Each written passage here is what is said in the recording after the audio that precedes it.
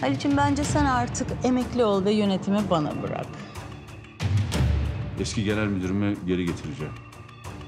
Emeklilik hayallerim yoksa. Yani hayallerimin başlangıcı diyelim. Kim? Ben tanıyor muyum? Kaya ikinci. Kaya değil mi o? Caner bittik biz. Yasak Elma yeni bölümüyle pazartesi akşamı Fox'ta.